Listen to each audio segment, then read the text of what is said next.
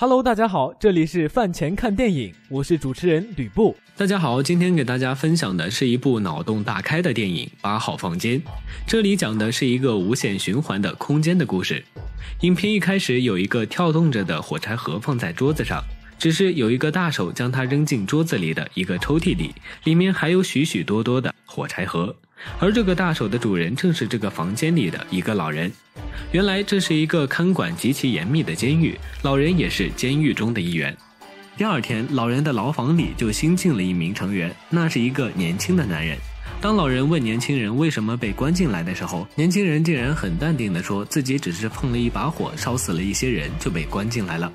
然后老人默默地坐在桌前看着他的书，年轻人就独自在房间里四处张望着。紧接着，年轻人就发现了一个奇怪的东西，那就是老人的床头放着一个红色的小箱子。在好奇心的驱使下，年轻人想要去打开这个小箱子，但老人却突然扭过头来告诉他说：“这个箱子一碰就一定会死，千万不要让他碰这个箱子。”年轻人听后心里有些害怕，但是他还是忍不住想要再次去打开那个箱子。当他第二次把手伸向那个小箱子的时候，老人扭过头来告诉他说：“你可以打开这个箱子，因为你不一定会死。”年轻人听了以后感觉放心多了，于是轻轻地打开了盒子。令他惊讶的是，他发现盒子里正是自己所在的牢房，盒子里全部的东西事物和现实的牢房里一模一样。盒子正是这个房间的缩小版。当他把手轻轻伸进盒子里的时候，他抬头发现自己牢房的天花板外面也伸进了一只手，而这只手正是自己的手。这一幕令年轻人惊异万分，于是他尝试着再次将手伸了进去。这次他还将自己的另一只手伸起来，与那只大手来了一次亲密的接触。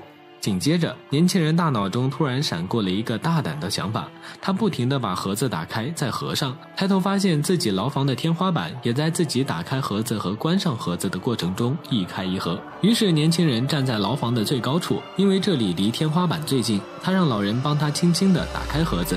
就在老人轻轻打开盒子的时候，牢房的天花板也轻轻地翘了起来。于是，年轻人趁机翻过楼房，开始不停地奔跑。想要逃出这个可怕的监狱，原来年轻人通过那个神奇的盒子想到了越狱。然而就在此时，他在奔跑时被一个火柴盒再次给扣住了，而拿火柴盒扣住他的人正是那位老人。原来这个牢房是一个无限循环的空间，而那个神秘的盒子就是用来检验人性的贪婪和欲望的。最后被火柴盒扣住的年轻人再次被伸回了那个装满众多火柴盒的抽屉里。